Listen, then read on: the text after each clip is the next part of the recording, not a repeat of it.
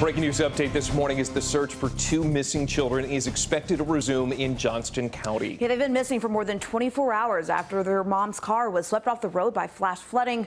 CBS 17's Holden Kurwicz joining us live from the area where they were last seen Holden with more details about the challenges with this search.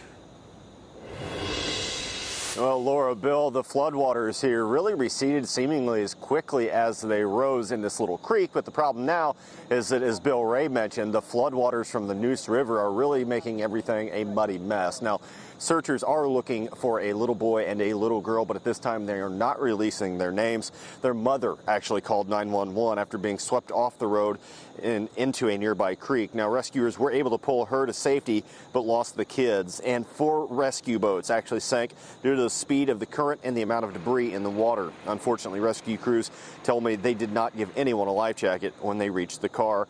Family and friends of that of, of those children were out here overnight trying to continue the search, which was suspended due to darkness.